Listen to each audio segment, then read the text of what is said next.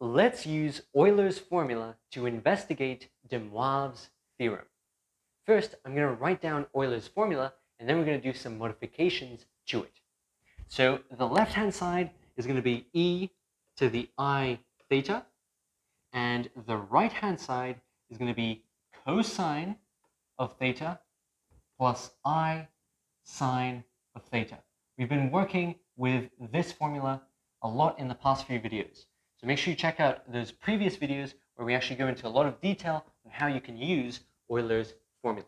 So Euler's formula is the link between complex exponentials and trigonometric functions. What I'm going to do to Euler's formula is I'm actually going to raise both sides to the power of n. So n is just going to be some exponent. We're going to take this side, raise it to the power of n, and we're also going to do that to this side. So I'm going to raise this to the power of n. And what I want to do is I want to show you de Moivre's theorem. And that actually gives us a very interesting relationship between this and another arrangement of trigonometric functions. So let's use exponential laws to change this left-hand side. We can actually use exponential laws to bring this n inside and put it into the exponent. So that's what I'm going to do underneath. So we're going to have e to the i times n theta. And I'm going to specifically group these guys together, n times theta, because now we have a new angle. So this is actually equal to the top by exponential laws. So we have a new angle. Raising this to the power of n is the same as multiplying the angle by n. So we have n copies of the angle. So what can we do with this? Well, we can actually use Euler's formula to write this in an alternative way. So let's do that. We can write this as cosine of n theta, and we also need a plus i sine n theta. And this is actually de Moivre's theorem. De Moivre's theorem says that this is equivalent to this. So taking this combination and raising it to the power of n is the same as taking this cosine and this sine and inputting the angle multiplied by n. So multiplication inside the argument over here is actually the same as raising this whole expression to the power of n. This is actually very useful. And in this form, we just, we're, just dealing with complex numbers that live on the unit circle. But this can actually be extended beyond the unit circle and can actually encompass any possible complex number. All you have to do is include the magnitude of that number, or the radial distance away from the origin. If you include that in as a factor, you will actually get de Moivre's theorem, and that de Moivre's theorem actually works for any complex number.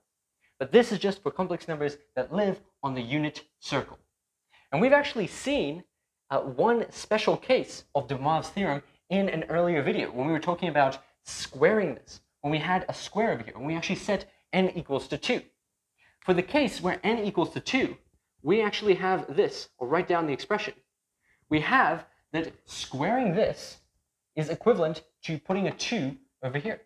And when we actually, if we square this expression over here, that's going to be equivalent to cosine of theta plus i sine of theta squared.